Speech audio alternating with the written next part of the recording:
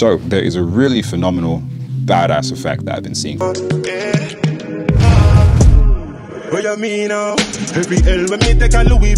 Namely Troy Roscoe. He's an absolute beast on this editing thing.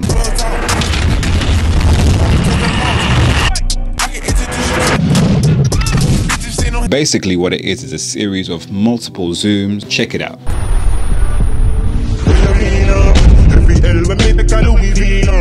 But using several different clips of zooms to get there. Let me show you how to do it. Step one, make markers exactly where you want your effect to start and then where you want it to finish. These can always change later, but it's good to get an idea of that length. Step two, chop up seven to 12 clips that you want to use as the zooms into the next clip. Remember, the longer you want this transition effect, the more clips you have to use. So I have one continuous video. I'm chopping up bits and bobs of it so that I have a selection of around seven clips. Step 3. Select them all and retime them to around 10% speed or even 7%. So go over to the retime button right there and then press custom. So on custom, you just literally just jot in 10% or whatever your desired number is. Step four, cut them so that they are all the same length, around 8 to 14 frames. So what I would do is line them up a little bit, not taking too much time. Chop one side so that they all start from the same place. Remember, when you choose your videos, don't be picky because there's no way that anyone's to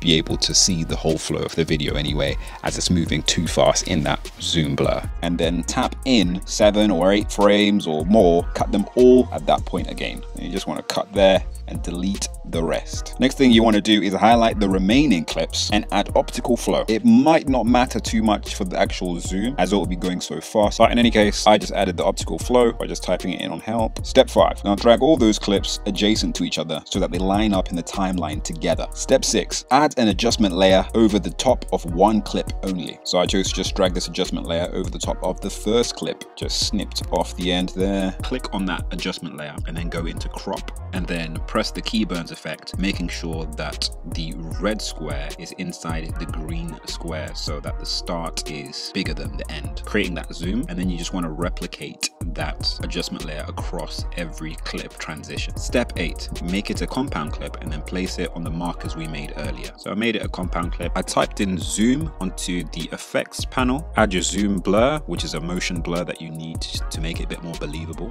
I'm just going to drag it across. Here is where you have to sort of edit the size. So you make it the size of the panel, play it back, see if it works well. I made it roughly half of the size I intended, so halfway between both markers, just because it looked better and the way it was zooming was a lot better to me. And, and how you do that is you retime the clip. So just play it back, see how fast it goes, seeing what sort of speed you want. What you want to do next is make sure that the clip underneath that is um, next to the right side of the compound clip. So you go to the start of that bottom clip, press the keyframe button on scale and position, move a couple of frames in front and then zoom to an appropriate size that you think, changing the position if you need to, and then move a couple of frames from there and then zoom back out. Right better know that the man them's touring the up block.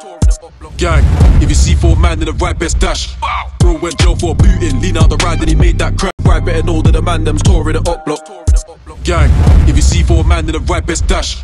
Bro went jail for booting, lean out the ride and he made that crash. You actually don't have to use videos. In fact, it works better when you use uh, photography just because it's higher res and it's easier to manipulate. Thank you guys for watching. Below is a free adjustment layer that you guys can download and also um, a link to the full pack of zoom transitions that will greatly help my channel if you guys purchase them. Use discount code AMAZOOM to get a 50% discount. It is limited, so it will be ending soon, so hurry up.